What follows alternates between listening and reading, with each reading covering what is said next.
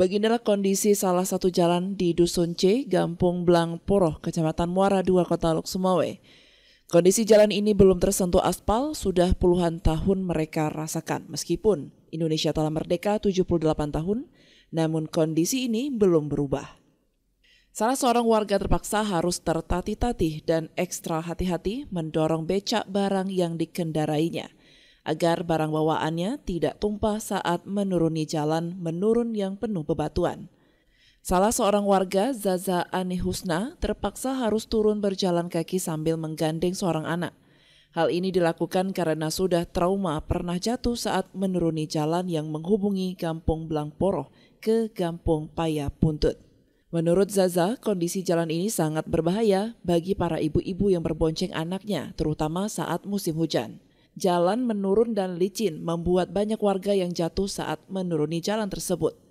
Dirinya berharap pemerintah kota Loksmawe agar membangun jalan ini secepatnya agar warga bisa beraktivitas dengan baik karena akses jalan ini yang tercepat menuju pusat kecamatan dan menuju kota Loksmawe.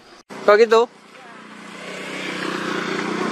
Ah, Dek, gimana nih? Kok kenapa harus turun nih? Ya, karena jalannya membahayakan kali. Udah sering sering sering jatuh-jatuh sini, Pak. Ya. Terus kan uh, misalnya emang naik Honda apalagi ada anak-anak membahayakan kali. Kalau hujan jalan cukup licin, timbul-timbul lagi batunya. Yang belum memang selalu jatuh. Harapannya semoga tahun ini langsung dibuat aja karena pun sampai bawa Pak komplek asik bolak-balik gotong royong buat-buat jalan ini aja tapi setiap hujan timbul lagi batunya rusak. Hal senada juga diungkapkan oleh Al Khalil, salah seorang warga yang tinggal di kawasan tersebut. Dirinya bersama warga sudah sering dengan swadaya sendiri menaburkan batu kerikil agar jalan tidak licin saat hujan. Tapi saat hujan lebat, kerikil kembali hanyut terbawa arus air yang turun di jalan tersebut.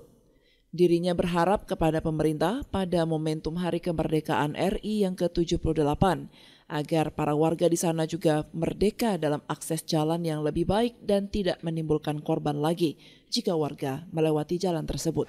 Jalan di desa ini Pak sangat rusak parah Pak. Hmm. Sudah saya tinggal di sini dari semenjak 2016 sampai sekarang Pak kondisi jalan belum pernah diperbaiki. Bahkan kami mungkin sebulan sekali bahkan dua bulan sekali eh, kadang-kadang kami buat ketorong bersama Pak hmm. untuk perbaiki jalan ini uh, untuk pindah kerikil biar enak sedikit jalannya pak.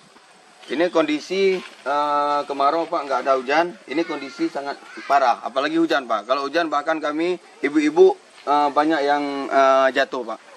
Harapan kami di sini semoga jalan ini di, bisa diperbaiki segera oleh pemerintah setempat. Mengingat Indonesia pun sudah merdeka 78 tahun pak.